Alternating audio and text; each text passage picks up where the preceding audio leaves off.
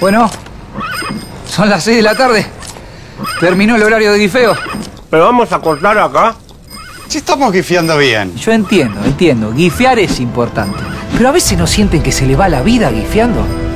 Don Leandro, ¿cuánto más va a guifiar? ¿Pero qué es guifiar? Vos, perrito. Agarra esa pelota de una vez y anda a jugar con tus cachorros.